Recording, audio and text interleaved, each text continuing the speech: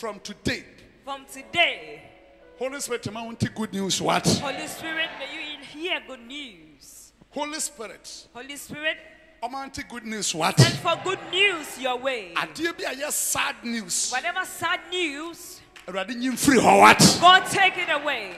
Sad news to be a adwuma mu. Any sad news from your workplaces, Sad news to be a wɔ abusua mu. sad news from your family. Holy Spirit mfiri hɔ. What? Holy Spirit, take it Wɔnyi away. mfiri hɔ. What? Holy Spirit, take it away. Wɔnyi mfiri hɔ. Holy What? Spirit, cancel. it. Wɔnyi mfiri hɔ. What? Amen. Wɔnyi mfiri hɔ. What? Say yes. Yes.